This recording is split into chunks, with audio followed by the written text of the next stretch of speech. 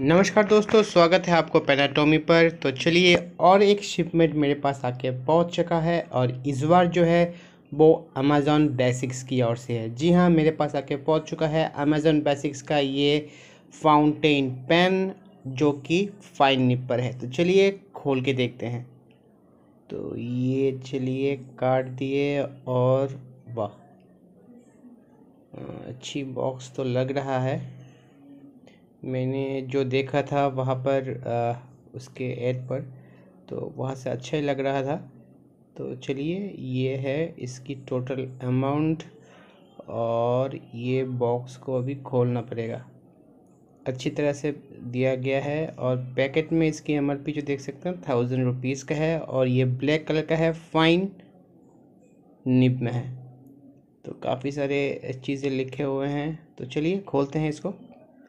इसको नया पेन को अनबॉक्स करने में मज़ा ही अलग होता है। पता नहीं, आप जब पेन या कोई चीज़ को ऑर्डर करते हैं, कितनी बार आप कुरियर सर्विस को चेक करते हैं?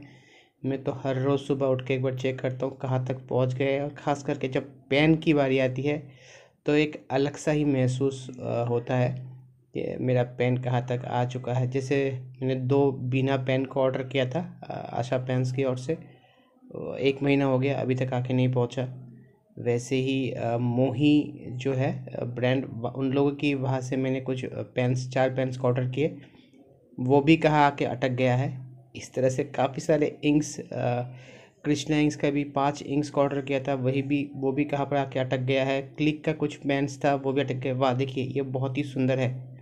बहुत ही सुंदर बॉक्स है। आपको फोर हंड्रेड फिफ्टी रुपीज़ के बीच में अगर आपको इतना सुंदर बॉक्स मिले और साथ में ये देखिए, इसमें शायद मैनुअल होगा।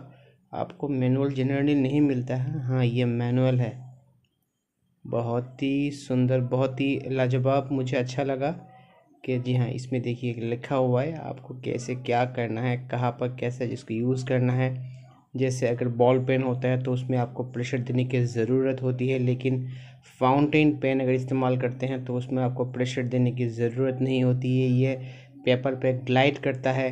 साथ ही साथ इसमें दिया गया है कि कब, कैसे आपके पेन को रखना चाहिए। ज़्यादा दिन तक आप इसका इस्तेमाल नहीं करते हैं तो कर्टेज को बाहर निकाल के रखिए या फिर उसको उल्टा कर कैसे मत रखिए ताकि से इंक की फ्लो आपके पॉकेट्स में आ जाए, कपड़े में स्टेन इसके हो जाए, किस तरह से इसको धोना पड़ेगा, किस तरह से एटलीस्ट दो महीने बाद बाद एक बार क्लीनिंग के बाद भी वहाँ पर आप देख सकते हैं क्लियरली मेंशन किया हुआ है।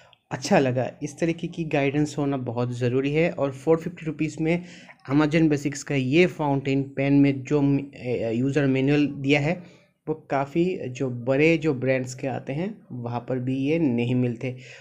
तो मैं इस चीज़ को ध्यान देता हूँ कि हर एक मैन्युफैक्चर को ये चीज़ को याद रखना चाहिए ताकि यूज़र मैनुअल उसमें रहे और ख़ास करके इंडियन ब्रांड जो है, सभी को बोलूँगा, इस चीज़ को आप अगर मेरे वीडियो देख रहे हैं तो ध्यान दे देखिएगा।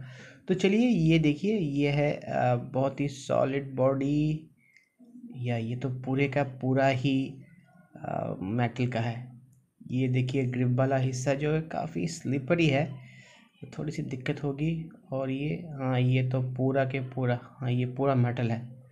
पूरे के पूरा हिस्सा मेटल है, सिर्फ़ जो फीडर है, फीडर को छोड़ के पूरे का पूरे बॉडी ही इसका मेटल से बना हुआ है कैप भी मेटल का है।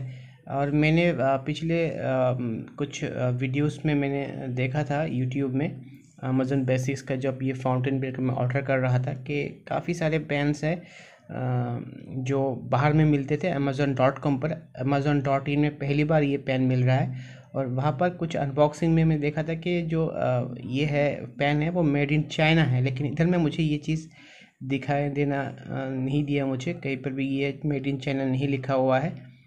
तो छोटे छोटे कर्टेज इसमें हैं। एक अंदर में था तो तीन कर्टेज दिया गया है। ब्लैक कर्टेज है। ब्लैक कर्टेज जनरली नहीं देते हैं। ब्लू कर्टेज देते हैं, लेकिन ये प्लान ब्लैक है। तो उसी तरह ब्लैक कर्टेज दिया गया है, बहुत ही छोटी सी है। तो अब देखना पड़ेगा कि इसमें आप दूसरे जो कॉन्वर्टर है, वो उसमें लगा पाते हैं कि नहीं। तो चलिए राइटिंग सैम्पल्स में हम और डिटेल्स में बात करेंगे इस पेन को लेके। आज के लिए बस इतना ही। अच्छे रहिए, स्वस्थ रहिए। टाटा बाय बाय जय हिंद।